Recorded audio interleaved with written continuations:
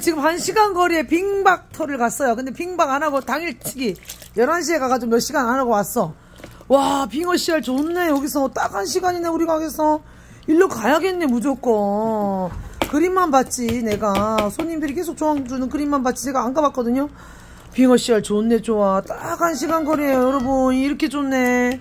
얼음도 뚱, 앙빵하고, 여기 갈만합니다. 빙어, 빙어입니다. 얼음도 잘 얼어있고, 일찍 얼고. 매년 또 이쪽에 영업을 가야 합니다. 지역사도. 워낙 커서. 아유, 좋아, 좋아. 우리 김빙어의 신님. 빙어빙어입니다. 오늘 1월 31일 다가오는 주말 이곳으로 빙박 갑시다 여러분 이미 손님들이 많이 갔다 오셔서 빙어들이 많은 잘 나오는 걸로 확인이 되었습니다. 빙어 빙어 빙어 빙어 크다 커 이거 봐와딱 한 시간 거리 딱 거기서 쟀는데 한 시간입니다. 완전 코앞입니다. 빙어 빙어